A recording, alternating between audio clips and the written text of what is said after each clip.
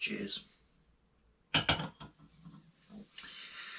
Good afternoon, folks. 21st Century Caveman here. Hope everybody's safe, hope everybody's well. So, another shoot from the man cave then, and I must say it's been a while, hasn't it? But welcome back. Now, the purpose of today's video is to share with you some tools which have been very kindly sent to me by one of my subscribers, a chap called Dave. Dave, God love you, thank you ever so much. Your gift is a very generous and very kind one and is greatly appreciated. Thank you so much.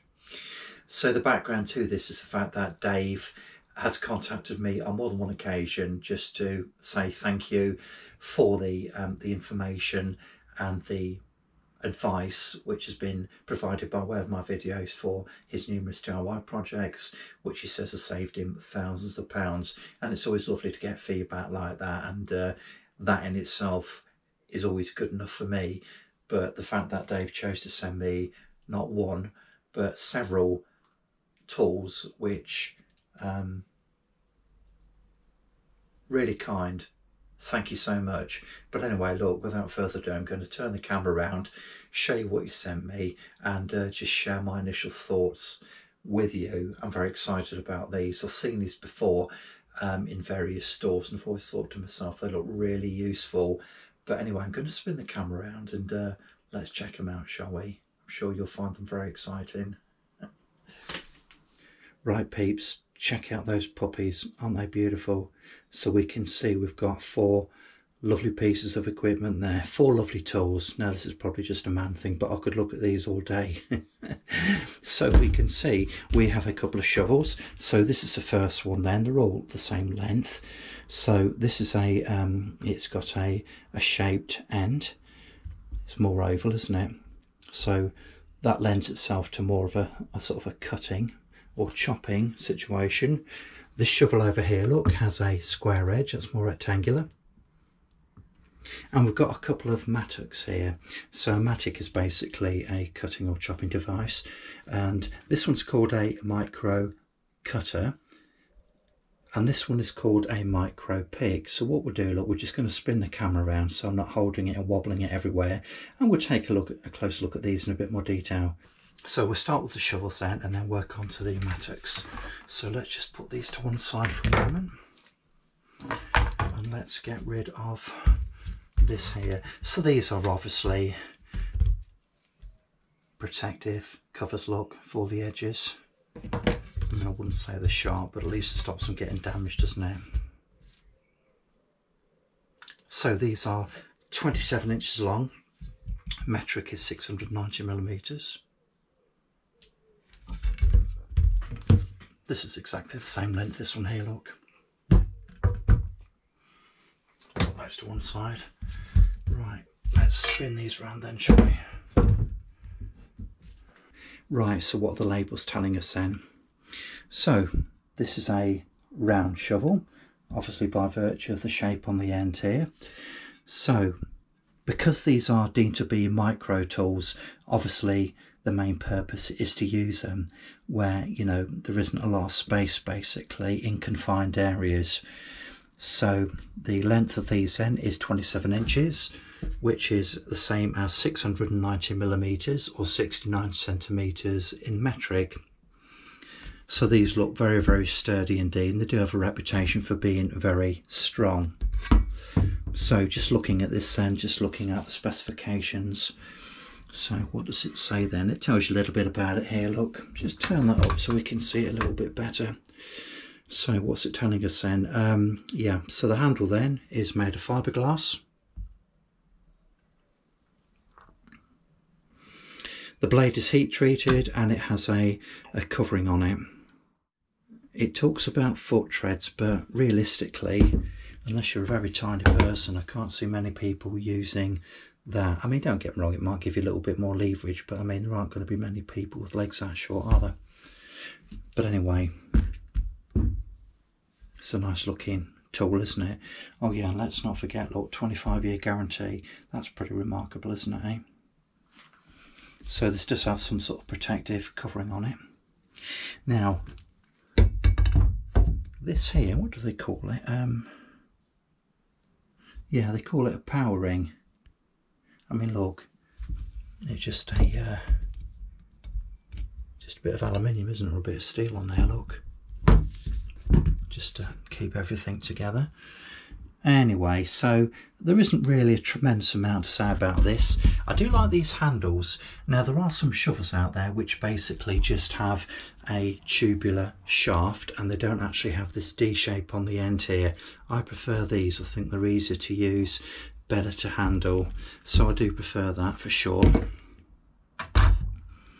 And uh, yeah, this looks pretty good, doesn't it, eh? Yeah, it's got a lacquered finish apparently, and it certainly does.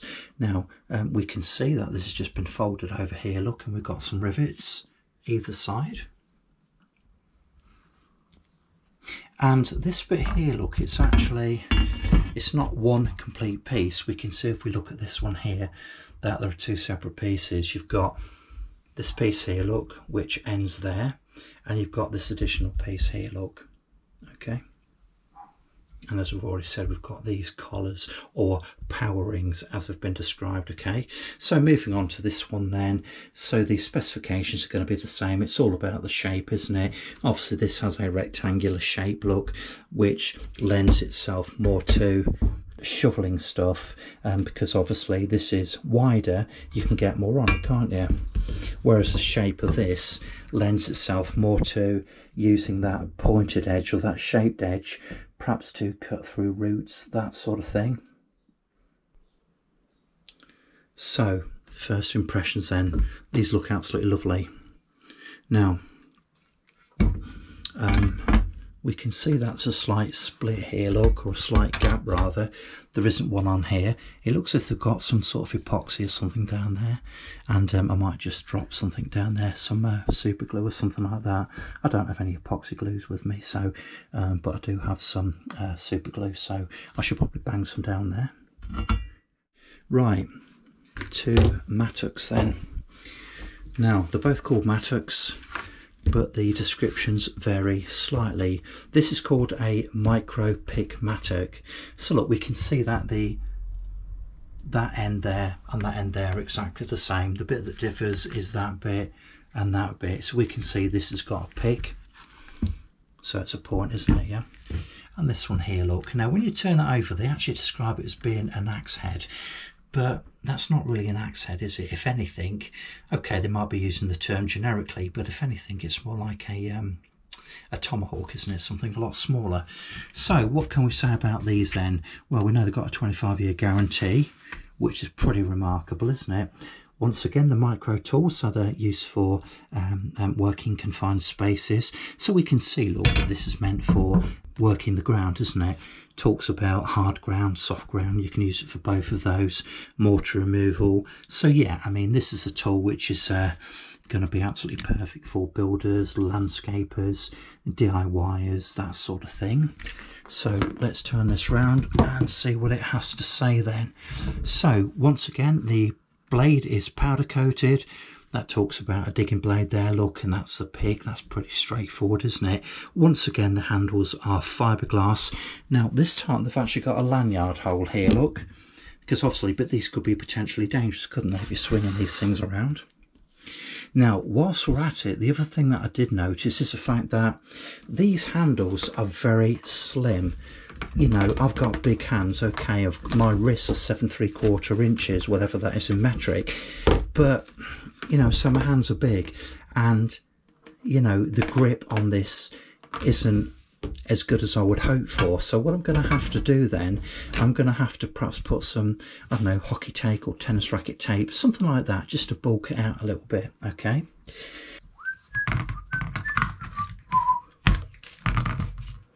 Oh no.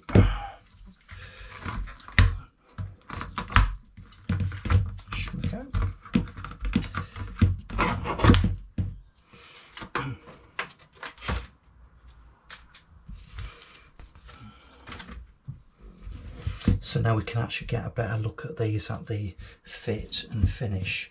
Now a couple of things. First of all the actual finish on these look um, I mean these are cast aren't they? They weigh according to this 400 grams or 14 ounces. That's both of these. Now the finish on these look it is a little bit rough isn't it? So it doesn't look as if it's been made with absolute precision but given the cost of these does it really matter I mean I'm certainly not complaining about it because these are free but you know it's um the finish on these is a little bit rough but as I say you know once you get once you start using these things and smacking them around and breaking stuff up with it, I don't really think it's going to make a lot of difference, is it?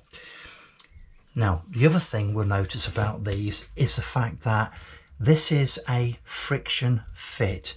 So what we mean by that? Well, basically what we mean is it's not secured um, uh, manually in any way. All we've got here, um, the only thing that's keeping this head on, this shaft, is the um, the friction um, is the fit between the head and the shaft so you know we need to make sure before we use this that that's not going anywhere.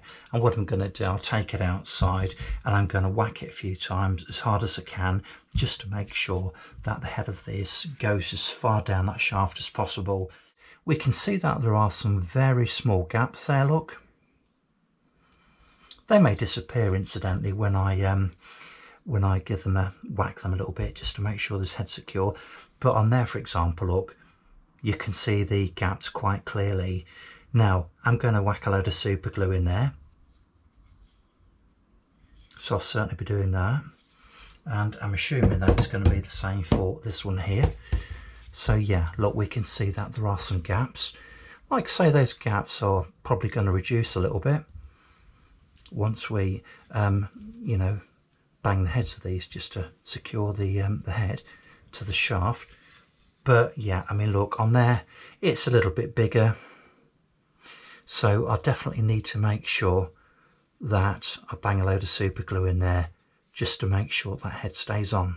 I mean, I know that um, with mattocks, you know, you can buy the head separately and most of these are friction fit also, um, it would be possible to, I don't know, perhaps put some um, screws or some sort of fixing below the head.